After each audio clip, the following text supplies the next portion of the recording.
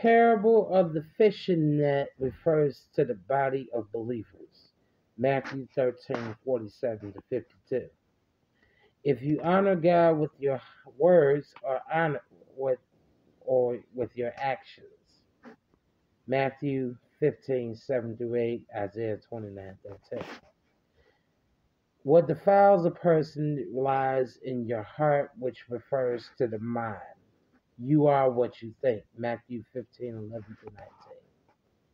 The symbolic sign of Jonah is the only sign that we be given to indicate Christ.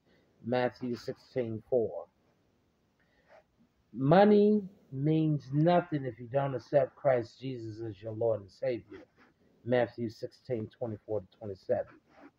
And we should strengthen our faith, which means we should stand firm in our belief and be grounded in our actions, which is refers to Matthew 19, 20, 17, 20.